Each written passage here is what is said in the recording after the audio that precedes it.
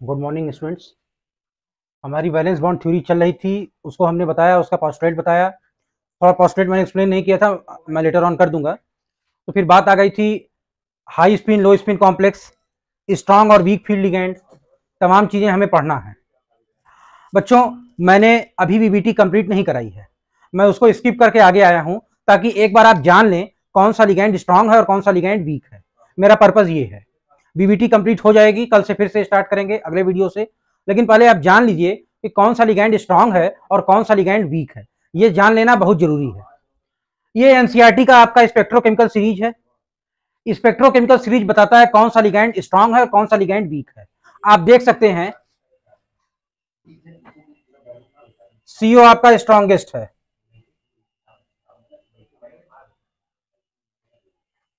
आई minus आपका weakest है।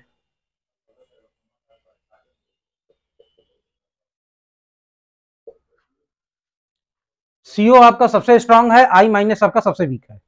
ठीक, ये ऑर्डर था। अच्छा ये ऑर्डर तो एनसीईआरटी में लिखा हुआ है। इसको पहले मैं समझाता हूँ, फिर मैं आपको यह भी बताऊँगा कि सिर्फ़ इसी ऑर्डर से सारा काम होने वाला नहीं है। और भी चीज़ें आपको जाननी पड़ेगी जो आपके बुक में नहीं दी हैं। जैसे सीओ सीएन यहाँ से यहाँ तक आइए। इन्हें हम कहते हैं पाई एक्सेप्टर लिगेंड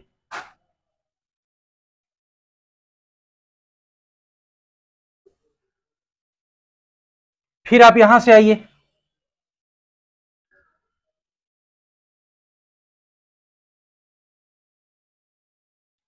ये जो है ना ईएन से आपका ऑब्जेक्ट आयन तक, इन्हें हम कहते हैं sigma donor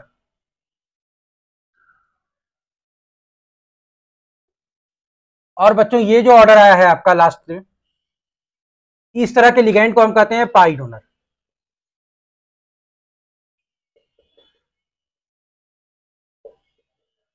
sigma pi acceptor sigma donor pi donor अब सबसे स्ट्रांग पाई एक्सेप्टर होते हैं। उनके बाद सिग्मा डोनर होते हैं। सबसे बेकार होते हैं पाई डोनर ऐसा क्यों होता है? ये आपके सिलेबस के बाहर है। फैक्ट मैं आपको बता रहा हूँ, ये आपके सिलेबस के बाहर है। इसको जानने के लिए आपको मॉलिक्यूलर आर्बिटल थ्योरी पढ़नी पड़ेगी और तब आप जानेंगे। अच्छा कुछ चीज़ें जो गलत आपको पढ़ाई जाती हैं, वो भी मैं क्लियर बोल दूँ। कई जगह मैंने देखा है, कई बुक्स ऐसा लिखती हैं कि जो लिगैंड की स्ट्रेंथ है strength of ligand. Proportional to charge on it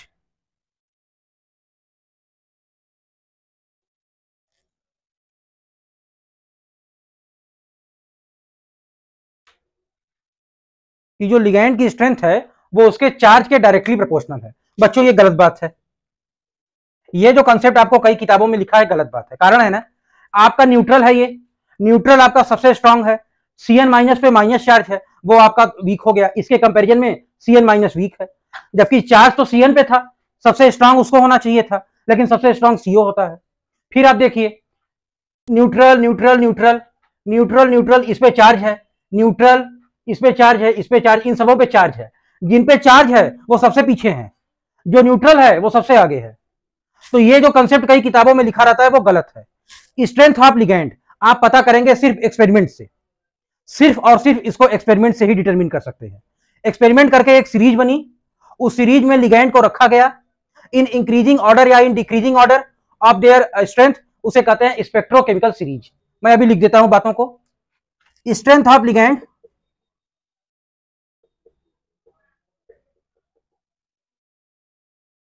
can be determined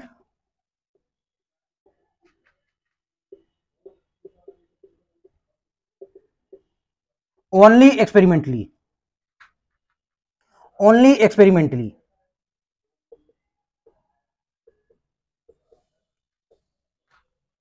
Strength of ligand केवल एक्सपेरिमेंट से ही आप निकाल सकते हैं।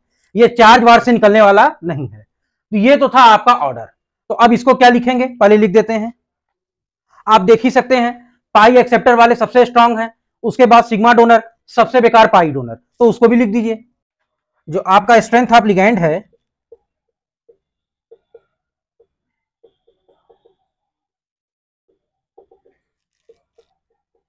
अभी भी आपने बहुत सारी चीज़ें नहीं सीखी हैं कि स्ट्रेंथ ऑफ़ लिगेंड का काम क्या है, क्यों कोई जो है स्ट्रांग है, क्यों कोई वीक है। डिटेल में आपको पढ़ाया जाएगा। अभी स्ट्रक्चर आपका बने हाइब्रिडाइजेशन बीबीटी में आप सीखें, कल से केवल उसी का जुगाड़ हो रहा है। अभी कल से उसी का पे काम हो रहा है कि कैसे कैसे आप स्ट्रक्चर आपके सामने आ जाए तो आप बना लें। अभी केवल उसी पे काम हो रहा है। अभी डिटेल में हम नहीं जा रहे हैं। स्ट्रेंथ ऑफ़ लिगेंड पहले होते हैं पाई एक्सेप्टर पाई एक्सेप्टर उनके बाद आते हैं सिग्मा डोनर सबसे बेकार होते हैं पाई डोनर। सवाल उठता है, सर, कौन पाई एक्सेप्टर होता है? लिगैंड सिग्मा से तो इलेक्ट्रॉन देता है, पाई ऑर्बिटल से इलेक्ट्रॉन ले लेता है। ये सिर्फ़ सिग्मा से इलेक्ट्रॉन देते हैं, कहीं से लेते नहीं है। ये सिग्मा से देने के बाद पाई से भी देते हैं, इसीलिए पाई डोनर है। तो इनके बारे में बहुत डिटेल में आपको नहीं जाना है, क्योंकि आपके सिलेबस में नहीं है। अब एक बात बताइए, पहले मैं इसकी डिफिनेशन लिख दूँ। On the basis of experiment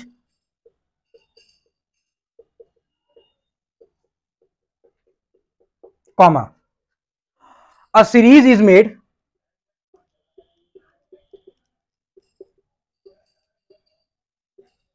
that contain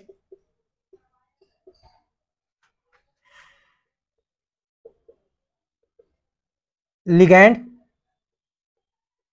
in increasing कर लो या डिक्रीजिंग कर लो increasing order of their strength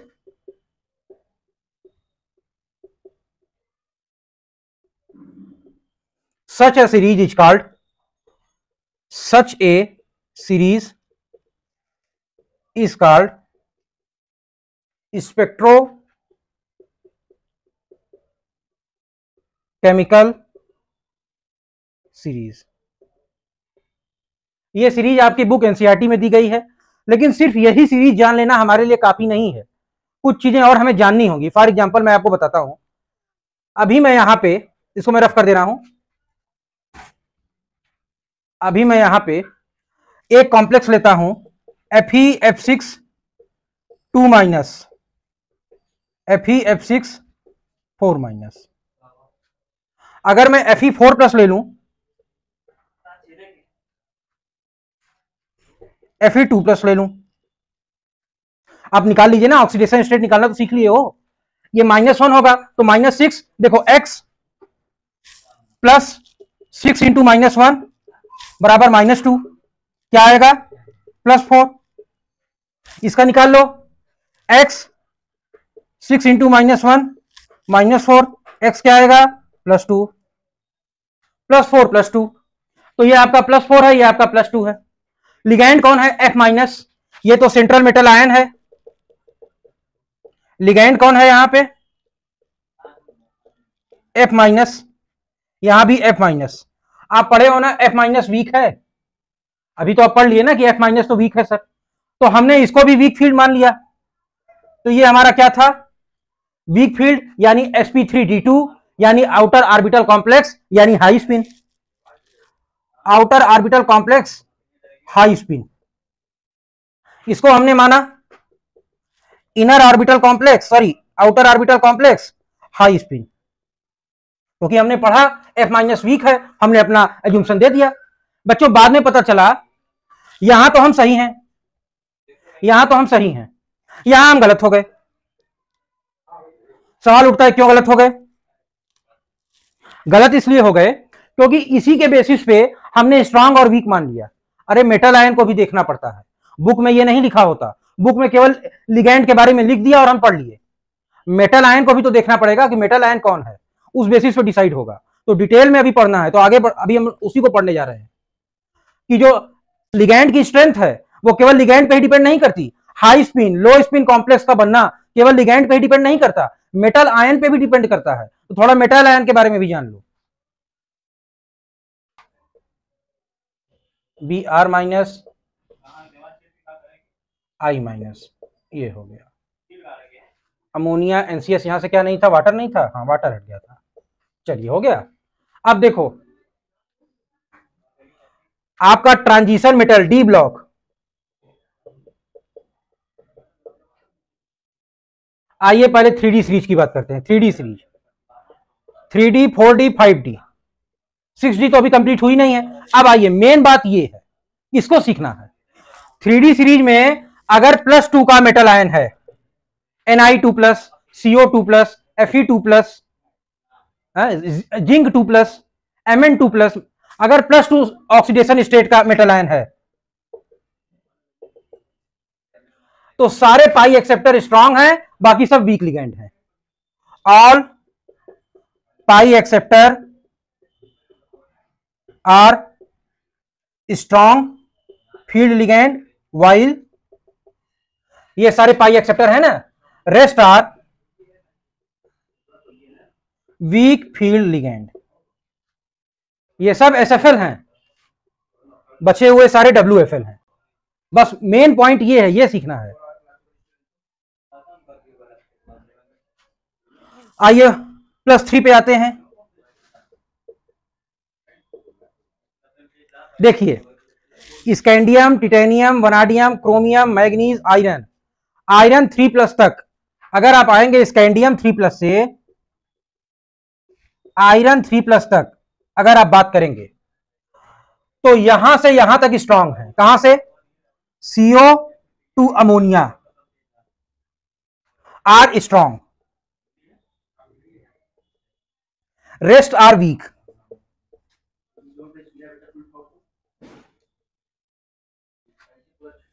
ठीक? अब बात करिए आप किसकी? कोबाल्ट थ्री प्लस की। इसकी बात कीजिए। तो यहाँ से यहाँ तक तो स्ट्रांग है। सीओ से अमोनिया तक तो स्ट्रांग है। अब बात कीजिए जरा बाकी कोबाल्ट थ्री प्लस के केस में। जितने ऑक्सीजन डोनर हैं, सारे स्ट्रांग हैं। कौन कौन है ऑक्सीजन डोनर? पानी, oxalate ion, O H minus, O two minus, सब है। In case of CO three plus ठीक। All oxygen donor O H minus O two minus C two O four two minus H two O all are strong field ligand rest are W F L rest F L यानी cobalt three plus के case में, यहाँ से यहाँ तक तो strong है ही। ये तो स्ट्रांग है। देखो मैंने लिखा है एसएफएल है। लेकिन कोबाल्ट थ्री प्लस के केस में जितने ऑक्सीजन डोनर हैं O H minus O two minus पानी ऑक्जिलेट आयन वो भी स्ट्रांग है। अगर आयरन का केस लिया गया, और हमसे कहा गया कि बताओ पानी क्या है तो पानी वीक है। मैंने क्या लिखा है? जरा पढ़िए आप। यहाँ से यहाँ तक, कोबल्ट से अमोनिया स्ट्रांग है, बाकी सारे वीक हैं। इनको एक में लीजिए। इनको एक में लीजिए, बताइए। बस आप केवल इसी लाइन को देखिए, समझिए। स्कैंडियम थ्री प्लस से आयरन थ्री प्लस, सीओ से अमोनिया तक, सारे स्ट्रांग फ़ील्ड हैं, बाकी सारे वीक फ़ील्ड हैं। आप समझ में आया? लेकिन जब कोबाल्ट थ्री प्लस का हमने केस लिया तो सीओ से अमोनिया तक तो स्ट्रांग है ही, और जितने ऑक्सीजन डोनर हैं, पानी oxalate ion oxide ion hydroxide ion ये सारे स्ट्रांग हैं। अब क्लियर हुआ? तो जब स्कैंडियम थ्री प्लस से आयरन थ्री प्लस आएगा तो आप इतनी लाइन पढ़ेंगे। जब कोबाल्ट थ्री प्लस आएगा तो ये नीचे वाली लाइन पढ़ेंगे। और सारे सवाल यहीं से होंगे। जेई के, नीट के, सीयूईटी के, सीबीएसई के, आपके बुकलेट के, असाइनमेंट के, प्रीवियस ईयर क्वेश्चन के, सारे आपके सवाल यहीं से होंगे। इसी तरीके से सारे सवाल निकलेंगे। ये तो अधूरी जानकारी है। देख ही रहे हो, अगर आयरन थ्री प्लस है तो पानी वीक है। कोबाल्ट थ्री प्लस के सामने पानी स्ट्रांग हो गया। अगर आपका आयरन टू प्लस है, देखिए आयरन टू प्लस है तो अमोनिया वीक है ईएन वीक है आयरन थ्री प्लस है तो अमोनिया स्ट्रांग हो गया ईएन स्ट्रांग हो गया। अब समझ में आ रहा है? प्लस टू प्लस थ्री अब आते हैं प्लस फोर पे। अगर metal ion plus four oxidation state में है तो सारे लिगेंड स्ट्रांग हैं।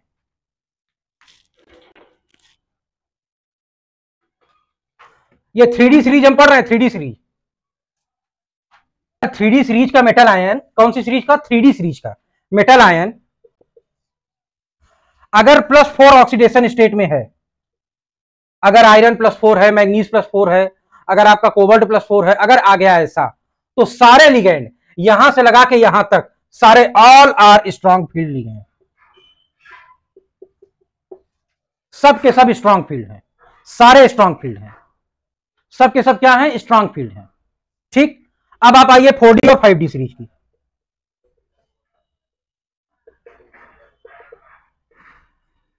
फोर और फाइव सीरीज़ अगर हम प्लस टू मेटल आयन चाहे प्लस टू में हो, चाहे प्लस थ्री में हो, चाहे प्लस फोर में हो सब के सब लिगेंड है स्ट्रॉन्ग और आर एस एफ़ सब के सब कैसे हो गए बच्चा? सब के सब स्ट्रांग हो। ऑल आर स्ट्रांग फ़ील्ड ये हो गया। समझ में आया? ये तो था आपका three D four D five D coordination number छह के लिए। ये जो अभी पढ़ रहे थे डी ब्लॉक ये पढ़ रहे थे कोऑर्डिनेशन नंबर छह के लिए। पहले थ्री डी सीरीज़ देखे, फिर फोर डी फाइव डी देखे। थ्री डी सीरीज़ में plus two plus three plus four four D five D में plus two plus three plus four सब देख डाले। डिटेल पूरा देख डाले। देख लो, तुम्हारे सामने है। कोऑर्डिनेशन नंबर सिक्स यानी octahedral geometry octahedral geometry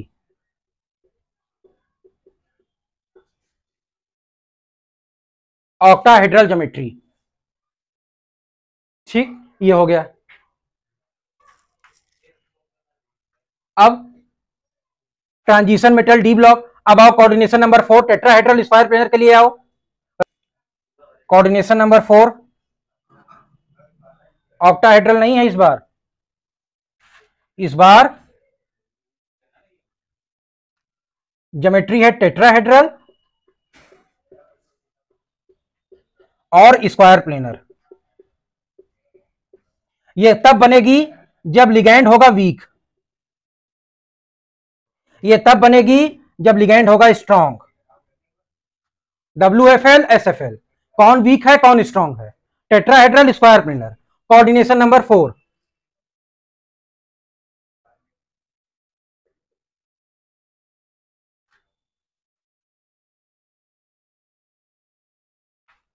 ठीक? D block coordination number four हम पढ़ने जा रहे हैं। कोऑर्डिनेशन नंबर सिक्स हम पढ़ लिया ऑक्टाहेड्रल जब लिगैंड स्ट्रांग होगा तो डी टू एसपी थ्री जब लिगैंड वीक होगा तो एसपी थ्री डी टू किस केस में स्ट्रांग होगा, किस केस में वीक होगा डिटेल में आपको पढ़ाया गया। अब आइए कोऑर्डिनेशन नंबर फोर पे। वीक होगा तो कौन सी ज्योमेट्री बनाएगा? स्ट्रांग होगा तो कौन सी ज्योमेट्री बनाएगा? अब ये आपको पढ़ना है, ठीक है? तो आइए three D series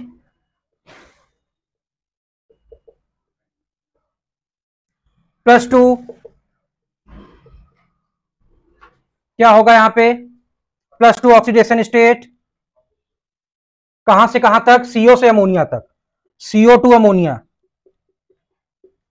all are strong field ligand rest are weak field ligand कहाँ से कहाँ तक स्ट्रांग है, कहाँ से कहाँ तक वीक है? थ्री डी सीरीज़ अब आइए प्लस थ्री में। प्लस थ्री में आइए प्लस थ्री की बात कीजिए। All are strong field all are strong field सारे स्ट्रांग हो गए, कोई वीक रहा ही नहीं। अब आइए प्लस फोर में।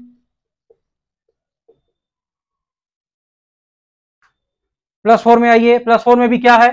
सारे स्ट्रांग अच्छा हाँ। प्लस फोर, जो कोऑर्डिनेशन नंबर फोर वाले हैं ना जनरली ये प्लस फोर नहीं बनाते। यहाँ पहले मैं लिख दूँ कि सारे स्ट्रांग होंगे। फिर मैं एक लाइन और लिखूँगा कि coordination number four generally do not make generally do not make generally do not make generally ये नहीं बनाएँगे, क्या नहीं बनाएँगे? Do not make complexes in plus four oxidation state generally ये कॉम्प्लेक्स को प्लस फोर ऑक्सीडेशन स्टेट में, इनके कोई कॉम्प्लेक्स कोऑर्डिनेशन नंबर फोर में जनरली देखने को नहीं मिलेंगे। तो आपने थ्री सीरीज़ का पढ़ लिया। प्लस टू में कौन है? प्लस थ्री और प्लस फोर में कौन है? आइए फोर डी फाइव डी पे आए। रफ करें। आइए। अब आप बताइए। अरे फोर डी और फाइव डी सीरीज़ में आ जाइए। कोऑर्डिनेशन नंबर फोर के लिए plus two plus three plus four क्या मिला? All are strong field ligand सबके सब स्ट्रांग फ़ील्ड हैं। ठीक? सबके सब स्ट्रांग फ़ील्ड है। रफ करें। चलिए। ये तो था आपका पूरा डिटेल आज आप सीख गए होंगे कब स्ट्रांग बोलना है और कब वीक बोलना है। अब आपको आ गया होगा किसे स्ट्रांग बोलना है और किसे वीक बोलना है। लेकिन मैं एक बात और लिखूँगा। Note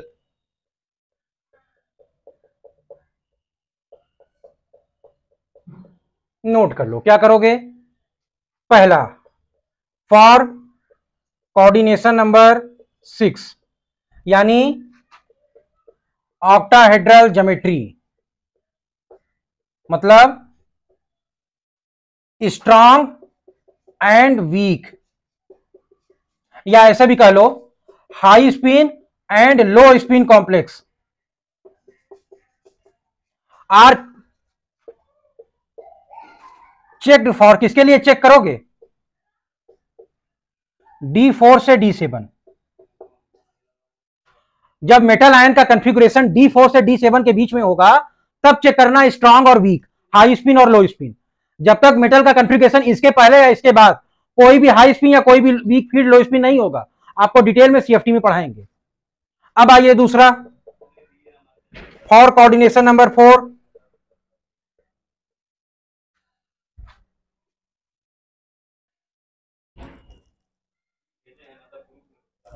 for coordination number four हाँ। S F L and W F L high spin and low spin complex generally determined for generally determined for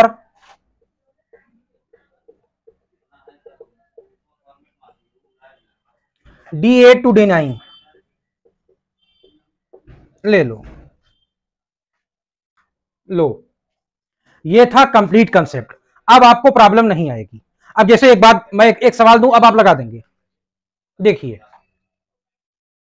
अब अगर मैं ये एग्जांपल दे दूँ कॉपर अमोनिया का होल फोर टू प्लस चलो अब कोई कहेगा चेक करो बताओ अमोनिया स्ट्रांग है कि वीक कोऑर्डिनेशन नंबर फोर में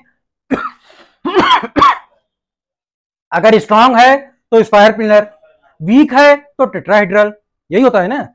अब बताओ, हमने तो पढ़ लिया सब कुछ, अब क्या दिक्कत है? प्लस टू में है थ्री सीरीज़ का मेटल आयन तो अमोनिया क्या होगा बेटा? इसको रफ कर दो, ये ऐसे लिखो। तो अमोनिया क्या होगा? अमोनिया होगा स्ट्रांग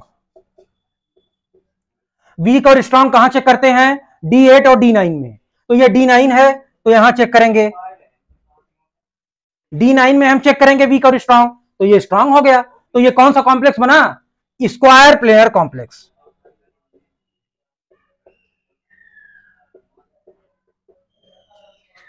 आ गया। जो ट्रिक हम सीखे, कल बीबीटी का सारा सवाल इसी ट्रिक से लगेगा। सारा हाइब्रिडाइजेशन सारी ज्योमेट्री मैग्नेटिक मूवमेंट कौन अनपेयर्ड है, कौन पेयर्ड है, कल पूरा बीबीटी का सारा स्ट्रक्चर इसी से लगेगा। ठीक है? तो बच्चों, आज के लिए वीडियो हम खत्म कर रहे हैं। कल से फिर बीबीटी पे आएँगे।